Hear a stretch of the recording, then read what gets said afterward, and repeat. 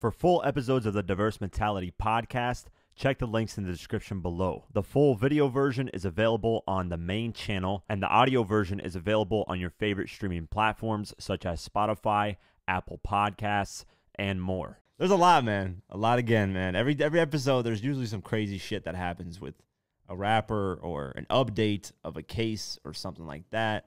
And this is an update. FBI has caught NBA YoungBoy. Well, damn. That was no surprise. Now we talked about this in episode what? What was that? that episode was like I think I don't know. I just removed the video, yeah, we just was looking at that shit too. My bad. yeah, I I should have like, noted that. yeah. we always fucking shit up. this podcast is most I, I unorganized. think it was like uh, episode Episode episode 21. It was 21. 21, Oh yeah, I'll keep. Yeah, okay. Yeah, Yeah, we so- did two two weeks. yeah, so 21, and I named it FBI. wow. I was kind of like, yeah, yeah, you know what's making me laugh? The text message you sent me. I said, Uh, yeah, you're like FBI. I was like, FBI loves young boy. What the fuck? no, no, this recent text message. Oh, when oh, I sent you, yeah, yeah, you, yeah. you're like, yo, FBI loves NBA young boy. I was laughing at that. and That was hilarious, bro. Because I titled it that. So yeah, man, they're on NBA young boy. They ain't playing no games. FBI period is not allowing any rappers to slide through on anything.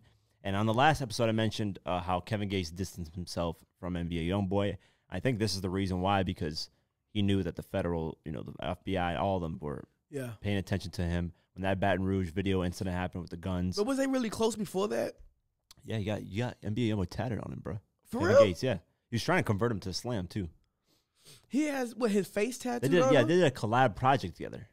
You know that, right? I think I remember the collab yeah, four project. tracks. It was an EP. Yeah, four tracks together. Didn't he get mad at Gates? Didn't I, who was yeah, something. that fell out? Yeah, something happened with Gates and NBA Youngboy, and it just fell It- out. And then like Gates, Gates, put it underneath his label or some shit. I think it yeah, was. some rapper underneath his label had beef with, uh, I think NBA Youngboy's, uh, uh, just NBA Youngboy and his team. I think I'm not. I'm not to too well versed. There's a lot of like bars, subliminals that I think a lot of people are saying Kevin Gates sent out to him, Yeah. um, and NBA YoungBoy as well. But Gates loved NBA YoungBoy. Well, I didn't know te- that, man. Yeah, so And they only have four. They had like four songs together. Yeah, said? four four tracks on the EP. It was uh, I ain't what you say I am. That's one of the tracks. I remember that. Okay, yeah. Yeah. That was. Hey, that's that shit. Yeah, that record's fire. That's a the way. timeless record. Timeless, maybe. Yeah, I think I I love the chemistry between NBA YoungBoy and Kevin, Kevin Gates. Gates just spitting on that motherfucker. Yeah, too. he was. Yeah. So let's go over the article. TMZ reported it. Uh, young boy never broke again. Was reportedly arrested on federal warrant in Los Angeles on Monday, March 22nd. According to TMZ, the Baton Rouge native was pulled over, attempted to drive away, took officers on a short pursuit, and then tried to flee on foot once the vehicle was stopped. Fucked up, man. Where the fuck you think he going? exactly. And then they immediately deployed the K9 unit. So sources say Los Angeles Police Department officers were forced to set up a perimeter and employ a K9 unit to help sniff him out. Police allegedly discovered weapons inside a young boy's vehicle, but it's unclear if they belong to him. Now, uh, there's video footage that came out of the police surrounding and saying, "Get out!" You know, we have the police officer dog. You know that if you don't come out, we'll sniff you out or t- and attack you if you do any sudden movements. Where he was at, like in the woods or some shit. No, this is a pretty. Uh, there's like a bunch of houses and like a kind of like a forest a little bit. like a Yeah. little. So you could run, you know. But okay. I don't think you could really get away. They, was like on the loudspeaker saying that yeah, shit. they were saying, oh, you know, shit. yeah, come out. He was a blah, blah, blah. fugitive type shit. Yeah, there's helicopters. People are like, "What the fuck's going on?" Uh, somebody recorded a video of a Mercedes Maybach, the new ones. Yeah. So I'm sure that was his car. Somebody. He was by himself. I don't know. I I don't think he was. So he say. came out by like they showed him coming out. Yeah, it's from what I'm, this says. He took him on a short pursuit, so he was by himself in that Yeah. vehicle, and then went on foot, bailed out, and said, "Fuck this, I'm out of here." And yeah, And the put the They found a K9 gun. Out. Yeah, they damn, found a gun too. So bad way of dealing with things, man. Very. Don't run. It's over, bruh. They caught you. Man up to it. It is what it is. Deal with whatever consequences you you put out there, and then you know you got money, man. Mm-hmm. Hire some great lawyers that can handle the situation. Uh, deal with it professionally, man. That's the thing. NBA YoungBoy isn't professional. Back to the Lil Durk and NBA YoungBoy argument that we argued a while ago. Yeah. He just isn't. He doesn't handle things professionally, and that's Yeah. gonna fuck you up. It's like Chief Keef, you know, buzzing artist, hottest Chicago, doesn't show up to a music video with Fifty Cent and Wiz Khalifa. Come on, Look, he just threw fifty. just- what? what? I'm just saying, Chief Keef is the last one. I, I know, remember. but just how you Yeah. just took me on that ride right there. Yeah, I'm just saying. It, I'm, I'm like 50. I learned his like questions to completely go on a different path. But I'm just saying, like, it's unprofessional, and he's Yeah. unprofessional. He's just one of those rappers that you can tell is unprofessional.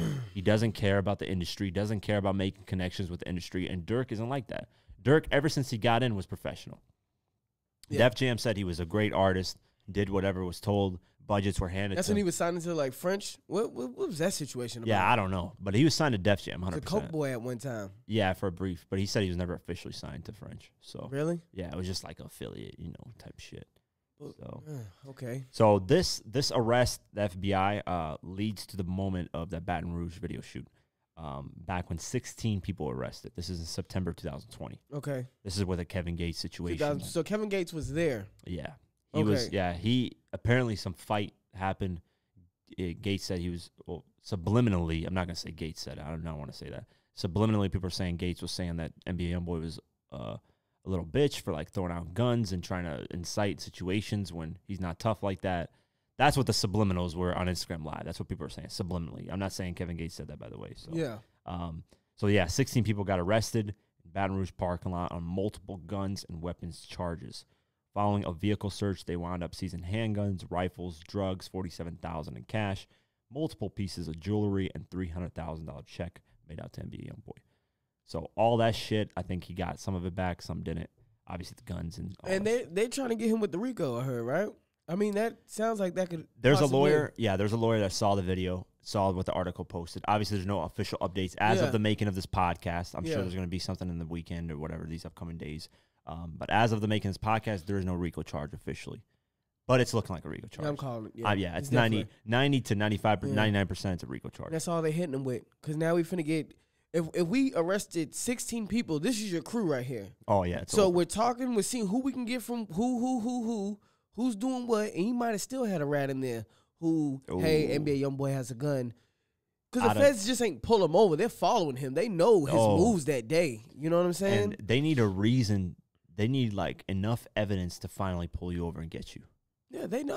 They, they, they stack up. They stack up all that.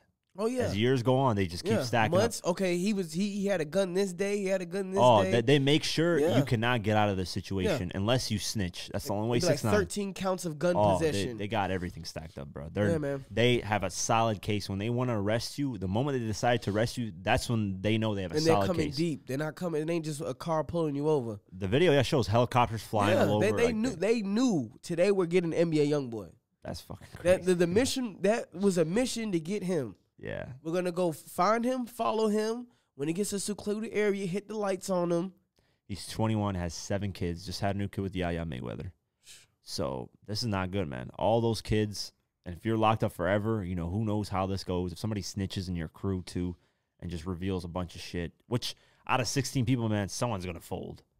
Most it's likely. very hard out of 16. If it was like four, six people, Shit, somebody will fold and fold three, man. Yeah, you just never know. I know, but I just think with 16 is a higher chance, way oh higher yeah, most chance. definitely. So uh, I don't know, man. Uh, charges included that this is a continuation of the two, September 2020. Yeah. Charges included possession of a Schedule One drug, which is an LSD, marijuana, ecstasy, or heroin, distribution slash manufacturing of a Schedule Two drug, which can include prescription painkillers such as Vicodin and OxyContin, as well as cocaine or methamphetamine, and a distribution manufacturing of a Schedule Four drug, Xanax, or other substances lower in abuse potential. Mm. So, just man, at that age, man, 21, he's not thinking. Yeah, he's definitely not thinking about anything in the future.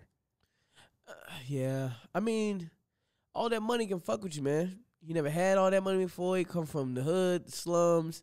That shit blind you, man. Some people it really blinds you. Yeah, he and also. if you're not business savvy, or I'm not even sure if you graduated from high school type shit. You know what I'm saying? So I don't know.